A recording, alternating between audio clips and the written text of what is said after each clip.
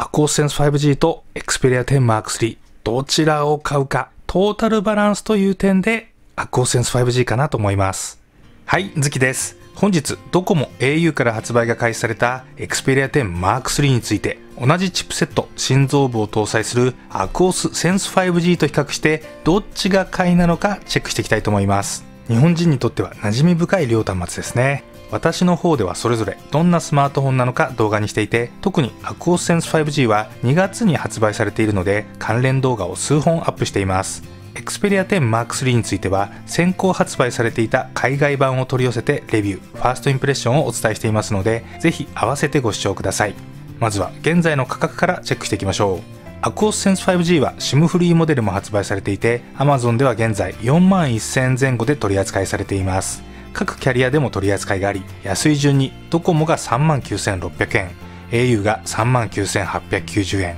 ソフトバンクが4万3200円になっています。なお、俺たちのグーシムセラーこと OCN モバイルワン音声 SIM セット販売では SIM フリーモデルが現在35,849円で取り扱いされていますが契約する回線が MNP の場合1万3000円割引されさらにオプションに同時加入すると2000円割引かれるので最安で端末価格19,349円になります。ご興味のある方は動画説明欄リンクより OCN モバイル版公式ホームページをチェックしてみてください。Xperia 10 Mark III については現時点では SIM フリーモデルは発売されておらず国内ではドコモ au Y モバイルの通信会社3社での取り扱いとなっています。Y モバイルオンラインショップの価格をチェックするとこちらは7月2日に発売となっていて価格は5万4000円ですが新規 MNP だと1万8000引きの3万6000円に。機種編だと7200円引きの4万6800円になります。その他のキャンペーンとして予約宣言し購入すると5000相当の PayPay 還元があるとのことなので実質最安3万1000円で購入できると言っていいかもしれません。au では一括総額5万3985円でキャンペーンとしては端末価格が5500円引きとなる 5G 機種編お得割が用意されています。ドコモでは新規機種編の一括総額が5万1480円で MNP の場合2万2000円引きの2万9480円になるので契約条件を駆使した場合ドコモが最安になりそうです。またドコモではオンラインショップオリジナルカラーのイエローが用意されています。いずれにせよシングル SIM はスマホ運用の幅が狭まるので早めに SIM フリーモデルが出てほしいところですがドコモ版の新規機種編の価格でそれぞれの端末を比較するとアコースセンス 5G より Xperia 10 Mark III の方が11,880円割高ということになります。それでは実機について比較していきたいと思いますがドコモ版をもとにサイズ感を比較すると Xperia 10 Mark III は新 Xperia の特徴ともいえる21対9ディスプレイを採用している分 AquaSense 5G より縦に 6mm 長くなっていますが幅で 3mm 厚みで 0.6mm 重量で 11g 軽くなっています。手に持った感じだとはいだいぶ大きさが違う感じがします。11g の重量差もそうなんですがやっぱり幅ですね。幅の 3mm 差は手に持った時結構違うと感じます。なおバッテリー容量は Xperia 10 Mark III の 4500mAh に対し AquosSense 5G は 4570mAh なのでほぼ一緒と言っていいと思います。にもかかわらず Xperia 10 Mark III の方が 10g 以上軽くなっています。縦長ディスプレイが苦手という方もいらっしゃると思いますが個人的には軽くて持ちやすい分 Xperia 10 Mark III の方が取り回ししやすく感じます。ディスプレイについては AquosSense 5G が解像度 2280×1080 ドットフル HD プラス約5.8インチイグゾー液晶ディスプレイなのに対し Xperia 10 Mark III は解像度 2520×1080 ドットフル HD プラス約6インチ HDR 対応有機 EL ディスプレイとなっています。いつものようにディスプレイ輝度を最大にして Google Chrome から Yahoo のニュースサイトを開いて比較すると、はい、やはり幅が随分違いますね。明るさという点では Xperia 10 Mark III の方が勝っています。発色という点でも HDR 対応 AMOLED の Xperia 10 Mark III の方がいいでしょうか。インスタグラムにアップしている写真で比較してみると、こちらは逆に画面が大きい分かもしれませんが、AquosSense 5G の方が発色が良いと感じます。ただ、動画などの視聴という点では Xperia 10 Mark III の方が圧倒的に綺麗に見えると感じました。残念に感じるのはスピーカーがどちらもモノラルという点で念のため確認してみると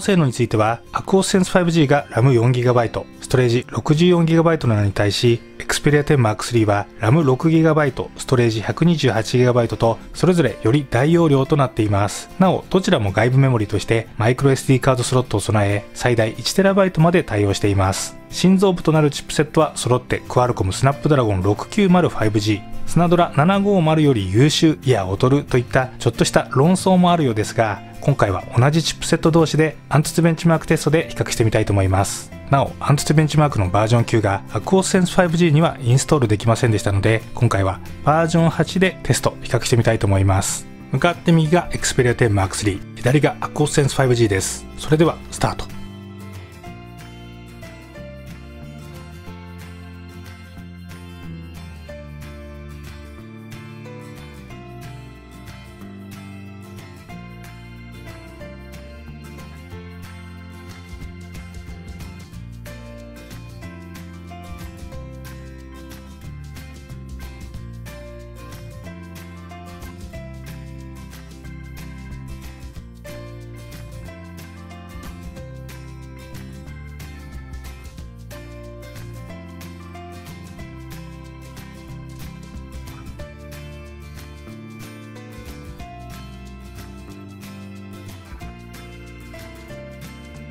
はい、結果が出ました。アクオスセンス4の時もそうでしたが、アクオスセンス 5G、メモリ不足のためか、重めのパート、平和用パートをパス、ショートカットしてしまいました。もしかしたら SIM フリー版であれば、この辺りクリアできるのかもしれません。ということで、スコア差は約4万5000となっています。すべての項目で Xperia 10 Mark III がアクオスセンス 5G を上回っています。温度上昇についても似たような感じですね。なお、アンツツベンチマーク9.0.10オープンベータで Xperia 10 Mark III をテストしたところ、スコア約34万7000になっています。メインとなるアウトカメラの性能については、アクオスセンス 5G が1200万画素 18mm 広角、同じく1200万画素 24mm 標準、800万画素 53mm 望遠という三眼構成なのに対し、Xperia 10 Mark III は800万画素 16mm 超広角、1200万画素 27mm 広角、標準ですね。そして800万画素 54mm 望遠という三眼構成になっています。実際に撮影したものを比較すると、標準カメラの価格が随分違いますね。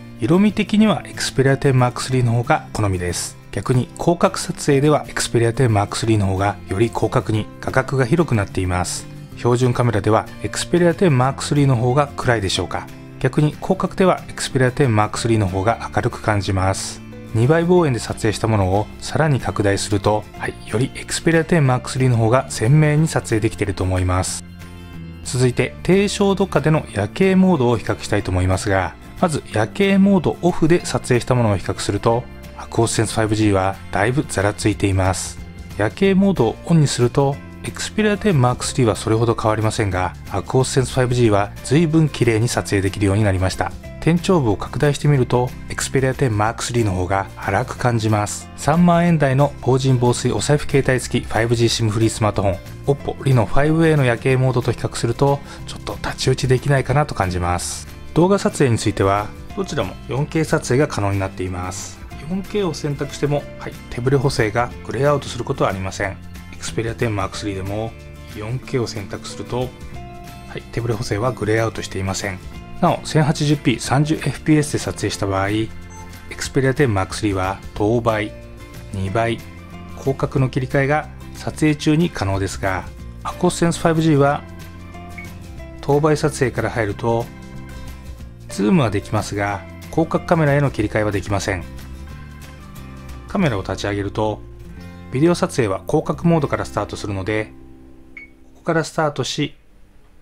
ズームするイメージです。それではそれぞれ 1080p30fps 手ブレ補正オンで動画を撮影してきましたのでご覧ください。